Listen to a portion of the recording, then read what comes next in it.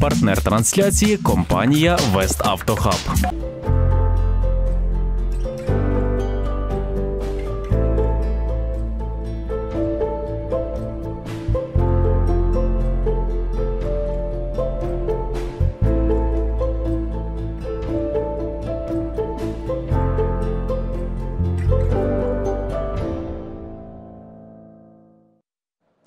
Мої вітання. Ви дивитесь духовну абетку. Мене звуть Марія Вавренюк. Сьогодні говоримо про конфесійну ситуацію в Україні та переходи церков. На відеозв'язку зі мною релігієзнавець, студент Волинської православної богословської академії Андрій Ковальов. Вітаю вас.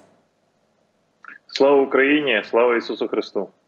Героям слава, слава навіки, пане Андрію. Хочу з вами поговорити про нашу церковну ситуацію. От пам'ятаємо, у березні-квітні Церковне питання так активно піднімалося в суспільстві, засоби масової інформації активно висвітлювали. А зараз спостерігаємо якесь таке інформаційне затища.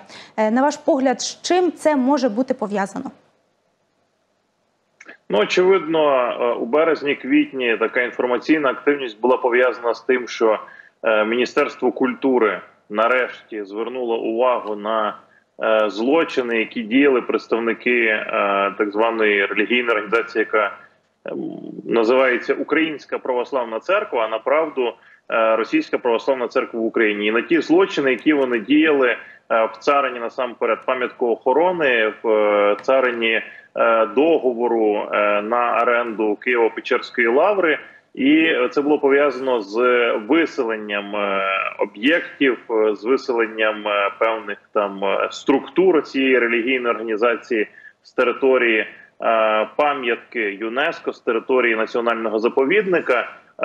І очевидно, стільки було уваги прикуто до цієї ситуації, і багато українців звернуло увагу в принципі на те, що релігійна організація з духовним центром в країні агресора залежна від країни-агресора, ем, залежна від релігійної від свого релігійного центру, який благословляє війну проти України, що вона поруч з нами, вона поруч е, на в наших містах, на наших вулицях є храми. До речі, історичні храми, які орендуються е, цією релігійною організацією, вона поруч з нами існує і продовжує свою деструктивну діяльність. Очевидно, е, цим і було пов'язано така е, такі, знаєте, своєрідні обговорення в пресі, така активність. Е, чому зараз це зникло з порядку денного? Ну, в принципі, я як релігієзнавець, як людина, яка е, постійно слідкує за е, цією темою, не вважаю, що тема в принципі зникла з порядку денного з простору. Очевидно, знаєте, ну є певні закони функціонування новин в Україні. Новини живуть дуже дуже короткий час.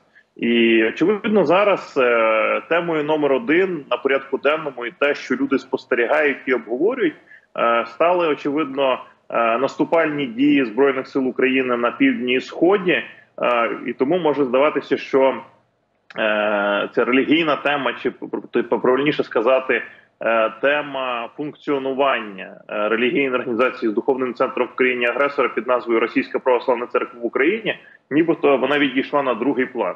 Але я думаю, що тема насправді буде і надалі відновлюватись, тому що ми спостерігаємо, що е, так мовити представники цієї релігійної організації часто роблять е, незрозумілі, е, ну скажімо так, недружні до України заяви. Ми спостерігаємо, що так чи інакше в е, різних куточках України відбуваються переходи, і скажімо, там, де е, громада активно включається в протистояння цій релігійній організації з духовним центром в країні агресора, е, там знову ця тема постає на порядку денному. І от відтак, що знаєте, е, однозначно, що війна це величезна, це глибока трагедія для України. Але ця війна вона робить Україну українськішою, і відтак е, тема цієї знаєте, колаборантської організації. Е, мета релігійної організації під назвою Російська православна церква в Україні вона постійно тепер буде поставати і знову і знову з новою силою підійматися до обговорення в українському суспільстві. Е, ви згадали про заяви, які роблять представники цієї церкви. Е, пам'ятаємо Павло Лебідь навіть під час от домашнього арешту робив якісь заяви. Зараз і цього не бачимо. Е, Що з ним взагалі? Де він? Чи є якісь новини з е, ну про власне про Павла Лебедя? Я постійно слідкую за діяльністю е, цього в лапках сказати релігійного діяча, а направду політичного діяча, тому що е, громадянин Петро Лебедь, який називає себе митрополитом Павлом, е, колишній е, намісник монастиря Києво-Печерської лаври. Тут важливо поясню, чому колишній, тому що тепер він не канонічний і не є е, намісником монастиря. А намісником монастиря Києво-Печерської лаври, Свято-Успенської Києво-Печерської лаври, призначений е, канонічний намісник е, архімандрит Авраамій Лотиш, і це є доконаний факт. Тому дійсно зараз е, громадянин Петро Лебедь е, перебуває під домашнім арештом. І, до речі, ось е, одна з тих тем, які можуть збурити знову цікавість українського суспільства до існування Російської православної церкви в Україні, це очевидно чергові суди, і очевидно, врешті-решт, колись має бути вирок у справі митрополита Павла Лебедя. Я думаю, що це знову поверне так мовити інтерес суспільства, інтерес громадськості і сфокусує, так би мовити, е, увагу чи погляд суспільства на е, темі існування Російської православної церкви в Україні. Е, Я слідкую. В нього є Ютуб канал, навіть попри те, що там на нього були накладені певні обмеження. Він дозволяє собі надалі знімати провокаційні провокативні відео, розміщувати їх е, у Ютубі. І очевидно, зараз це головне заняття е, Павла Лебедя. Е, очевидно, що це можна сказати. Знаєте, от якщо говорити про агентів Кремля, це один із топових агентів Кремля в Україні, і ми і ми бачимо, що в принципі.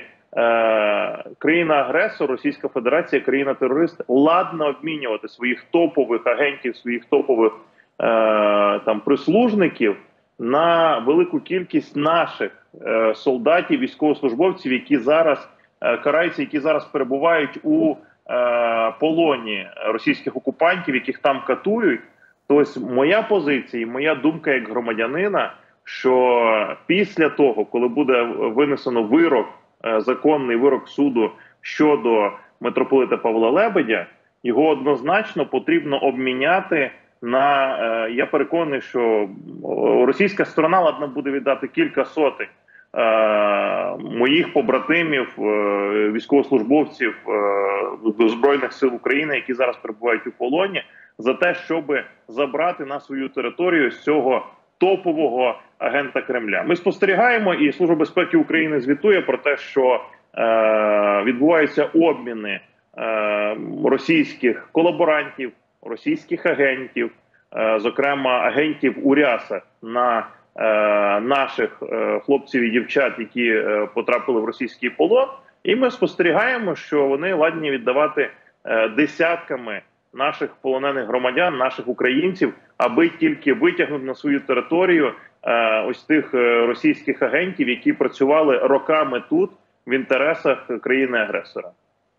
Пане Андрію, ви згадали про військовополонених. Ціла історія розгортається навколо е, нібито передачею Російської православної церкви до Угорщини 11 наших військовополонених українських. Втім, у Будапешті вже встигли це заперечити. Сказали, що це е, суто е, перемовини між релігійними організаціями. кажуть, що ось в Угорщині наші е, хлопці не мають свободи, як про це заявляли раніше. От що це для чого це?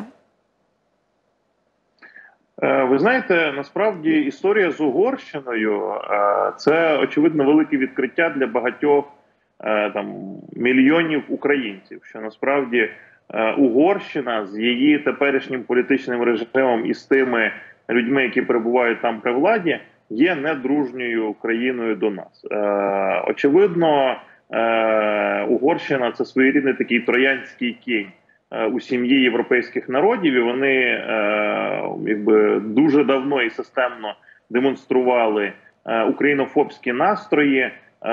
Угорщина потрібно сказати, що вони знаєте, існують як у будь-якої нації, яка колись була імперією. Існують певні імперські комплекси, існують певні знаєте, держава перестала бути імперією, але погані звички імперії в неї залишились. Опісля того, коли був підписаний за підсумками Першої світової війни так званий Тріанонський мирний договір, за яким Угорщина втратила е, великі частини території. Е, то е, у них існує в принципі ось ця мрія так відновити е, так звану велику Угорщину. У них є певні зазіхання щодо України. Якщо ми послухаємо деяких угорських політиків, то українці дуже вельми здивуються, і тому ми спостерігаємо, що Угорщина таке враження, чи правильніше сказати, люди, які перебувають при владі в Угорщині, нібито виконують певні замовлення Кремля. Зокрема, існує в експертному середовищі думка, що Угорщина. Е, дуже довго в інтересах російської православної церкви е, впливала на санкції, щоб зняти санкції е, з патріарха Кирила Гундяєва, який однозначно є співучасником російських військових злочинів, який причетний до військових злочинів в Україні, який благословляв війну. І також проти діячів російської православної церкви, тому що е, російська православна церква є одним із каналів Е, через які Росія намагається відмивати свої брудні гроші, через які заводяться гроші для корумпування. Е, це відбувалося ще з совєтських часів. Е, використовували так званий відділ внішньоцерковних зв'язей ОВЦС, який є фактично в Совєтському Союзі. Це був складовий складова КГБ в Російській Федерації. Це є складова ФСБ. Через ці органи відбувається прокачка російських грошей на захід, якраз за допомогою е, російської православної церкви. Заводилися гроші на фінансування сепаратистських організацій е, в Україні, е, і в принципі існування надалі цієї релігійної організації е, і її функціонування. Це свідчення того, що е, ОВЦС і е, ФСБ активно працюють з російською православною церквою. Хочу зауважити до речі, що коли е, російська православна церква е, чи намагається шукати спільної мови з Ватиканом, е, з Папою Римським, вони шукають, так би мовити, якихось нейтральних територій. Так ось один із раундів переговорів між Римо-католицькою церквою, між Ватиканом і Російською православною церквою, до речі, відбувся на, е, на території Угорщини, що теж є е, симптоматично. Наприклад, один з таких раундів переговорів у 2014 році відбувався на Кубі в Гавані, в Гаванському аеропорту. Нагадаю, що тоді, у 2016 році, патріарх Кирил Гундяєв і папа Римський Франциск підписали так звану Гаванську декларацію. Абсолютно дипломатичний, але абсолютно антиукраїнський документ, в якому нагадаю, е, ну, наприклад, е, українські греко-католики називалися невдалим експериментом. Це я зараз цитую Гаванську декларацію. Або е, війна в Україні, російська агресія називалася конфліктом на сході України. Питання Криму е, у Гаванській декларації взагалі було відсутнє.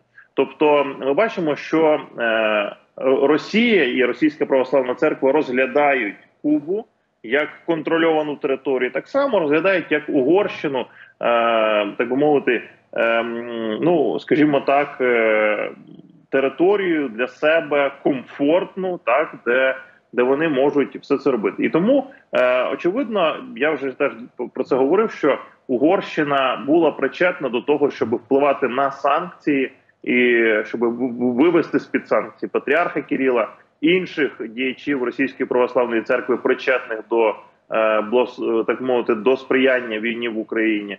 Е, саму російську православну церкву, яку використовують так як ширму для е, проведення е, російської гібридної агресії у всьому світі. Хвилями відбувається ось відбуваються переходи до православної церкви України з московського патріархату. І нині також спостерігаємо якась затища. Чи це в нас на Волині така ситуація? Е, це в московському патріархаті провели якусь роботу з своїми священниками та парафіянами. Чому не так активно відбуваються переходи, як раніше? Е, Хоч я хочу посперечатися, а а з чим ми порівнюємо? Знаєте, все пізнається в порівнянні. А з чим порівнюємо коли, на вашу думку, було е, більший спалах, е, скажімо, воз'єднання парафії з православною церквою України? Дивіться, тут найголовніше, що для практикуючих християн, тобто немає різниці, яке число, тобто тільки це тільки, скажімо, російська православна церква, яка мислить свою гегемонію мислить, от е, чим більше в них буде парафій, чим більше на їхньому лічильнику буде громад, навіть якщо ці громади будуть суто паперові чи порожні, то це для них означає якась перемога. Насправді хочеться сказати, е, і хочеться, щоб ви всі розуміли, е, з точки зору православ'я існує Томос Вселенського патріарха, Томос Вселенського синодальний Томос, підписаний Вселенським патріархом і 12 членами синоду. Е, Томос це конкретний і беззаперечний документ, е, в якому чітко прописано, що на території України є єдина канонічна православна церква України. І ті православні, які живуть згідно православних канонів, ті православні, які дійсно вважають себе православними, є практикуючими християнами, вони мають привести свій е, канонічний стан у відповідність до Томосу Вселенського патріарха. І е, тобто вони мають стати е, членами Православної церкви України. Усе інше це є ніщо інше, як розколи, секти, і про це треба говорити щиро і відверто. Е, Не може бути, знаєте, невизначений статус громади чи християнина. Православна церква це про порядок. І тому, якщо існують громади, які бачать себе якось поза, межами православної церкви України, е, це означає, що вони поза межами канонів. Тобто, ці люди, деякі, знаєте, десятками років називали себе канонічними, благодатними. Е, це самообман. Хочеться, щоб е, знаєте, прихожани так званого московського патріархату в Україні зараз правильно розцінили свій канонічний стан. Це з точки зору канонічного права, що всі християни православні ще 2018 року мали привести свій канонічний стан у відповідність до Томосу Вселенського патріарха. Е, коли б видав якесь благословення чи Томос Московський патріарх, вони би ніколи це питання не обговорювали, не дискутували. Але коли це рішення видав Вселенський патріарх, вони починають дискутувати, розповідати про те, що Томос якийсь не такий. Е, Тільки у Вселенського патріарха є право ухвалювати будь-які рішення щодо України, тому що Україна отримала хрещення з Візантії, тому що Україна була частиною Київської митрополії Константинопольського патріархату. І відтак Константинопольський патріарх і синод Константинопольського патріархату ухвалив цілком законне рішення щодо своєї канонічної території. Росія і Москва не має права ухвалювати жодного рішення, тому що Україна не є канонічною територією Москви і е, Руської православної церкви. Це доконаний факт. І всі спроби нав'язати нам те, що Російська православна церква може тут ухвалювати якісь рішення з приводу канонічної території України, ну ми бачимо, що війна, яка триває в Україні, е, це чітка відповідь. Це чітка відповідь української держави і українського народу, що ми не хочемо, щоб щось за нас вирішувала Росія, щоб Росія тут нав'язувала свої права. Ні, цього бути не може. Це неприродне. Це з точки зору канонічного права. Тепер, з точки зору ще дуже важливого для православних християн, з точки зору православної догматики. Нагадаю, що догматика це основи віри, це в те, що ми віримо. Так ось, з точки зору догматичної, якщо ми коротко зведемо. Е, так мовити, знаєте, основу догматичного права, та те, що називається е, основу е, догматів віри, які викладені у символі віри. Так? Якщо дуже коротко сказати, наше спасіння можливе тільки з Ісусом Христом і тільки через Ісуса Христа. І православна церква веде своїх вірних, це її головна функція веде до спасіння у єдності з Ісусом Христом і в Ісусі Христі. Що говорить Московський патріархат десятками років е, своїм прихожанам в Україні? Що спасіння можливе тільки через єдність з Москвою. Друзі, розплющіть очі. Знаєте, хто має вуха, нехай слухає, хто має очі, нехай бачить. Російська православна церква в Україні нав'язує десятки років своїм прихожанам. Догмат, псевдодогмат, абсолютно єретичне вчення про те, що спасіння можливе тільки через єдність з Москвою. Якщо ти не в єдності з Москвою, в канонічній будь-якій, ти не спасешся. Це їхні слова. Це єресь, тому що вони Бога підмінили Москвою. І ось з точки зору догматичного, Російська православна церква в Україні це єретична секта, яка веде своїх вірних до загибелі. І тому, якщо е, у людей, які ще вважають себе прихожанами московського патріархату, е, є якесь раціональне мислення, вони можуть зупинитися, розмислити і почути ці мої слова, вони зрозуміють, що їм треба якомога швидше тікати з цієї секти, тому що ця секта не веде їх до спасіння, вона веде їх до загибелі. Тобто, з точки зору канонічного права е, православної церкви, Вселенської православної церкви, і з точки зору догматів, Російська православна церква в Україні на сьогодні перетворилася е, у секту, і на превеликий жаль, вона і далі, і далі буде е, скочуватись на маргінес. Це буде маргінальна секта, яка просто буде вести своїх вірних до загибелі. І треба чітко розставити всі крапки над «і», зрозуміти це і нарешті почути голос церкви, почути голос Вселенського патріарха Варфоломія, який виклав е, разом з синодом свої думки у Томосі, і привести свій канонічний стан до нормального, до нормального стану, до стану згідно е, Томосу. І коли ви починаєте, знаєте, це дуже проста українська істина. Коли ти не знаєш, як вдіяти, вдій по закону. І ось закон, канонічне право нам говорить, як вдіяти.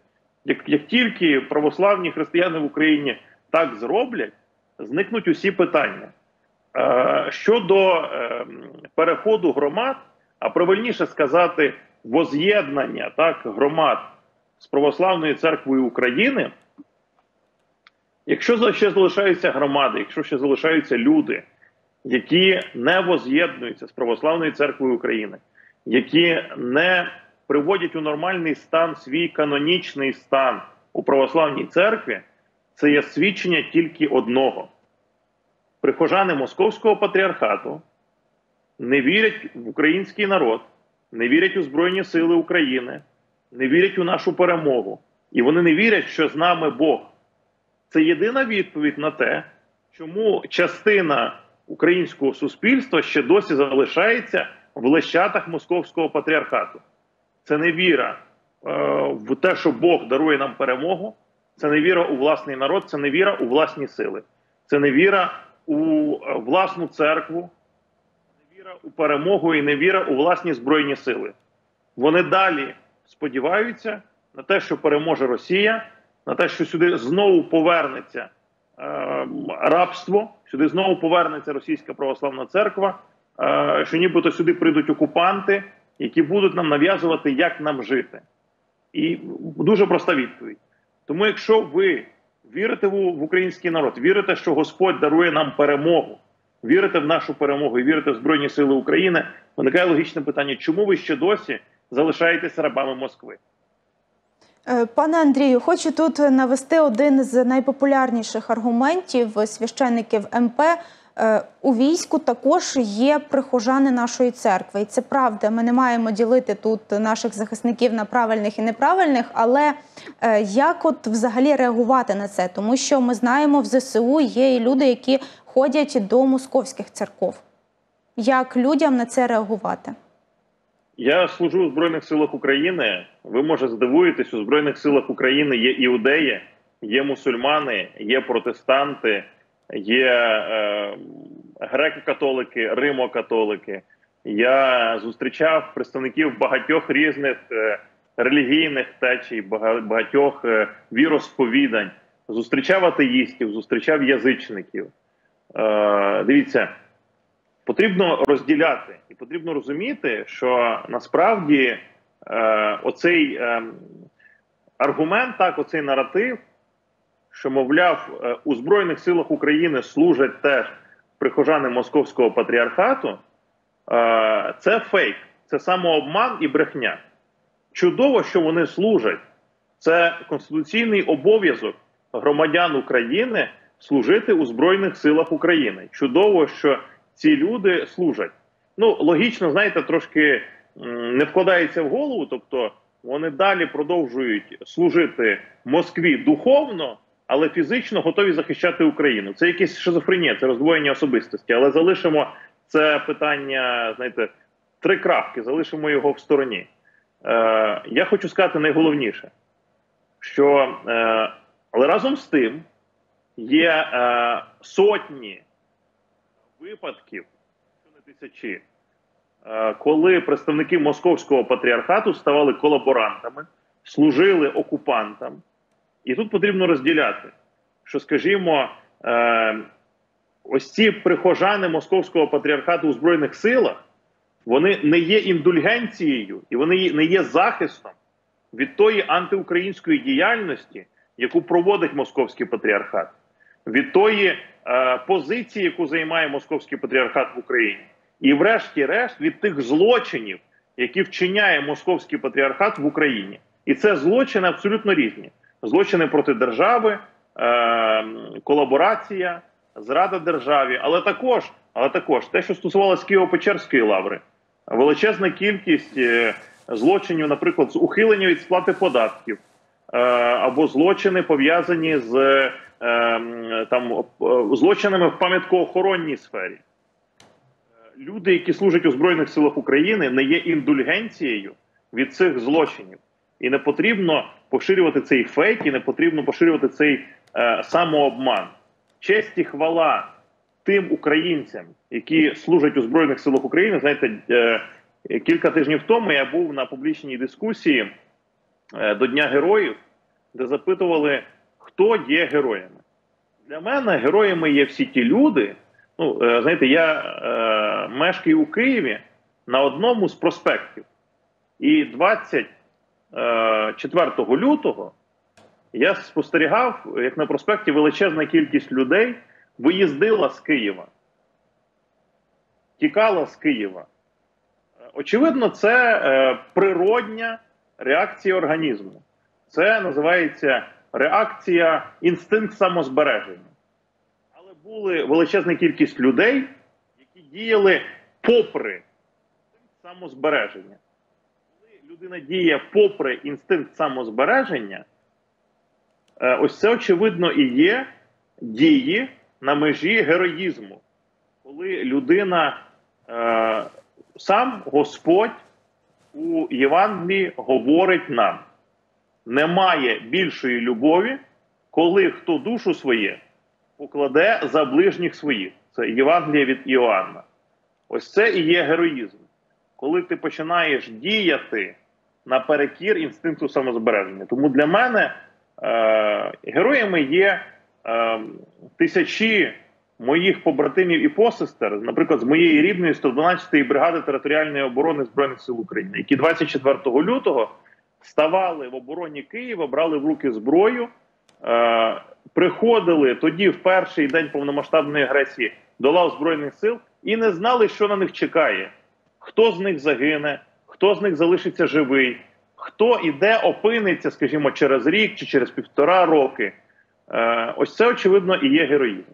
Тому ті люди, які прийшли за покликом серця, які, яких Господь благословив на високим привілеєм, тому що служба своїй вітчизні, своїй державі, своїм рідним і близьким це привілей, це не покарання. Знаєте, тут хочеться спростувати ще один міф. Коли я чую чи читаю коментарі там сталося щось погане, хтось там в аварію потрапив, хтось щось пограбував, чи хтось десь напився, пишуть е, деякі громадяни. Дайте йому повістку, хай їде на передову. Я, як військовослужбовець, вам скажу, що я не хотів би опинитися в одному окопі чи на виконанні бойового завдання з людиною, яку потрібно до чогось примушувати, яку відправили Збройні сили в якості покарання. Ні. Служіння в Збройних силах України е, і воювати за Україну це не покарання, це привілей. Тому честь і хвала тим людям, які обрали е, шлях служіння. Але злочинці, е, люди е, нечесні, люди, які порушують канонічне право православне, не повинні, е, скажімо, прикриватися як ширмою святим ім'ям тих людей, які служать у Збройних силах України. Пане Андрію, ще би хотіла поговорити з вами про нашу лавру на сході. Маємо інформацію, що Донецька військова адміністрація планує е, переглянути договір з УПЦ МП щодо Святогірської лаври. Е, На ваш погляд, наскільки там можливий вихід з московського патріархату? Бо е, подейкують, що добровільно священнослужителі там точно покидати МП не збираються. Ну, я хочу нагадати насамперед історію, що е, Святогірська лавра або е, монастир на Святих Горах е, на Донеччині, у там, скажімо, в часи Російської імперії він взагалі називався монастир на Святих Горах на Слобожанщині, тому що вважалося, що це е, здається, навіть це була частина Харківської єпархії за часів е, Російської імперії. Е, В совєтський час е, монастир був знищений, перетворений на санаторій. Я нагадаю, що там над е, монастирем на горі був встановлений пам'ятник геніального українського скульптора е, Кавалерідзе. Щоправда, пам'ятник пропагандистський е, російському е, агенту, знаєте, одному з лідерів е, російського ДНРу е, столітньої давнини, так званому революціонеру товаришу Артему. І ось е, наприкінці 80-х, на початку 90-х, чомусь ми почали про це забувати. Першими, хто повернув монаше життя до стін свято, е, святої е, Святогорської лаври, е, була наша рідна Українська автокефальна православна церква. Саме українські е, православні патріоти, націоналісти, е, рухівці, представники інших е, патріотичних і націоналістичних організацій об'єднувалися у громаду, запрошували єпископів УАПЦ і звершували перші служіння у Святогорській лаврі на початку 90-х. Е, Саме перші молитви, перші літургії, відправлені е, у відродженій Святогірській лаврі, лунали українською мовою. Тільки е, за сприяння Росії, е, великого капіталу, пов'язаного з криміналом на початку 90-х, е, у Святогірську лавру силою прийшов так званий московський патріархат. І фактично з року у рік зміцненням цієї міцної спайки криміналу, бізнесу і влади на Донеччині Святогірська лавра фактично потрапила е, в тенета Російської православної церкви. Хоча починалося все саме силами Української автокефальної православної церкви, починалося з молитви українською мовою. І фактично е, наші е, прихожани Української автокефальної православної церкви були витіснені. З того часу, до речі, е, існували героїчні українські громади. Зараз це громади Православної церкви України у Краматорську, в Слов'янську.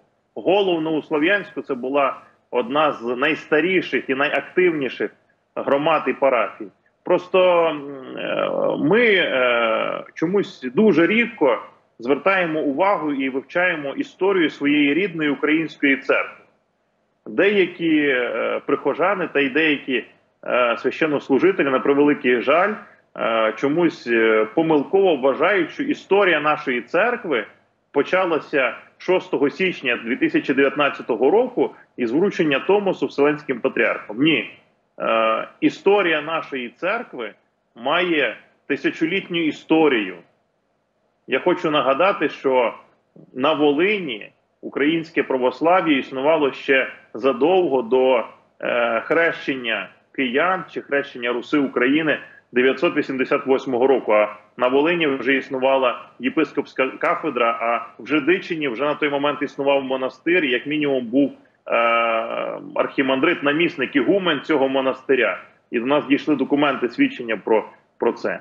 Так само я хочу вам сказати, що і в Києво-Печерській лаврі е, відродження монастиря на початку 90-х, наприкінці 80-х, відбулося е, от цими днями, 16 червня, е, виповнюється, здається, 35 років, е, відколи е, митрополит Київський і Галицький Філарет Денисенко, який нагадаю є почесним патріархом, і був третім патріархом Української православної церкви Київського патріархату, добився відродження у стінах Києво-Печерської лаври Свято-Успенської монашого життя і е, відродив там е, богослужіння і відслужив там богослужіння. Е, я можу помилятися, здається, це 1988 чи 89 рік. Так само я хочу вам нагадати, що наприкінці 80-х, на початку 90-х років надзвичайно патріотичною була Почаївська лавра. І намісником Почаївської лаври у той момент був владика Яків, який пізніше став е- митрополитом Луцьким і Волинським, і багато десятиліть присвятив свого служіння саме Волинській кафедрі. Владика Яків Панчук це попередник е- високопреосвященнішого митрополита е- Михаїла Зінкевича. Ось його попередником був якраз владика Яків, який був душею цієї української Почаївської лаври. Тільки е, через втручання Москви, через втручання злочинців і проросійських політичних сил, владика Якова фактично викинули з Почаївської лаври. І тому в Почаївській лаврі зараз діє такий, е, е, на, на мою думку, просто е, жахливий руський мір. Е, ось і все. Тобто, усі три лаври 90-х вони були абсолютно українські. І поступово, можливо, через е, нашу слабку активність, можливо, через е, активне втручання Росії. Але в цих лаврах фактично е, запалав оцей руський мір, е, активно поширився цей е, російський дух. Щодо перспектив е, переходу чи воз'єднання так, е, е, Святогорської лаври з Православною церквою України, ну насамперед це було б цілком логічно. Я переконаний, що рано чи пізно це станеться. Але е, я був у Святогірській лаврі, е, скажімо, після звільнення Лиману. Е, підрозділи моєї рідної бригади стояли біля Святогірської лаври. Е, прямою наводкою російські окупанти гатили артилерією по свято-успенській е, Святогірській лаврі. І ви думаєте, що е, монахи чи священноначалі Святогірської лаври е, звинувачувало російських окупантів у цих злочинах? Ні, жодного слова. Кілька десятків монахів Святогірської лаври загинуло е, рік тому, е, понад рік тому, е, фактично від російських обстрілів, від російських ракет, від російських снарядів. І коли я спілкувався з представниками Святогірської лаври, е, вони кажуть: ну це все скорбі, нам треба перетерпіти. Їх вбивають, а вони кажуть, це все скорбі. Оце і є руський мір, оце і є окозамилювання. Коли тебе вбивають, а ти маєш смирятися. Е, І на превеликий жаль, ці люди не здатні, ну, не, немає, знаєте, немає цього відчуття причинно-наслідкових зв'язків. Е, я не побачив у спілкуванні з монахами Святогорської лаври е, якоїсь любові до України, Е, це абсолютно на превеликий жаль. Е, це знаєте, це ознаки тоталітарної секти. Це люди зазумбовані, це люди, які бачать е, своє спасіння тільки через єдність з Москвою, на превеликий жаль. І е, той намісник, який там зараз є, митрополит Арсеній, так він е, тільки і підбурює ось це відчуття, цей дух руського міра. Ну і на, на, на сам кінець вишенька на тортику. Я вам хочу нагадати інтерв'ю терориста Стрілкова Гіркіна, якого вже е, міжнародний трибунал визнав винним у збитті малазійського Боїнгу. Він визнаний терористом. Він у міжнародному розшуку. Так ось цей терорист, який розпочав один з тих, хто розпочав війну в Україні у 2014 році. Він розповідав, що ГРУ закинули їх в Україну, і в них був план здійснити е, військове захоплення Слов'янська і Краматорська. І ось перед тим як захоплювати Слов'янський Краматорськ, е, вони два тижні. Терористична група, диверсійна е, терористична група, диверсійно-розвідувальна група е, Гіркіна Стрілкова два тижні ховалася у Святогорській лаврі, і він говорив про те, що е, представники Святогірської лаври сприяли їм, годували їм в його особистій охороні. Були духовні чада цього мітрополіта Арсенія зі Святогірської лаври. Е, у нього в бойовиках були монахи зі Святогірської лаври. Ось ось це і відповідь. Чи може це бути, чи може бути таке у православному монастирі? Ні, це не є православний монастир, це є будь-що інше. Це є клуб за інтересами, але точно не православний монастир. Тому що у православному монастирі не можуть переховувати вбивці. Православний монастир не може сприяти злочинам і вбивствам. Православний монастир це про служіння Богові, про життя у Богові і про любов. Наразі у Святогірській лаврі, на превеликий жаль, я не бачу монастиря. Там є, знаєте, щось подібне на російський православний монастир, але я там не бачу монастиря. І очевидно, щоб там е, відродився справжній православний монастир, там має бути, як зараз у Свято-Успенській Києво-Печерській лаврі. Там повинна з'явитися здорова альтернатива.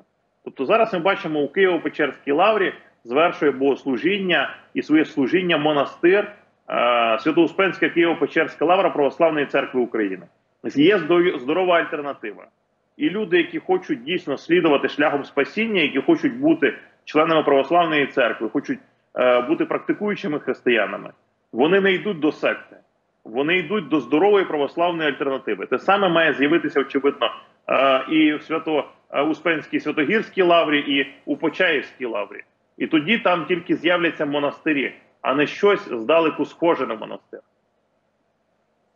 Пане Андрію, щиро надіємося, що це відбудеться якнайшвидше. Я дякую вам за те, що долучилися до нашого ефіру, і дякую щиро вам дякую за бесіду. Вам. Що ж, гостем нашої програми був релігієзнавець, студент Волинської православної богословської академії Андрій Ковальов. Ви ж бережіть себе, керуйтеся критичним мисленням та передусім допомагайте нашим збройним силам, адже саме вони борються із нашим найбільшим ворогом на полі бою. З вами була Марія Вавренюк і до зустрічі.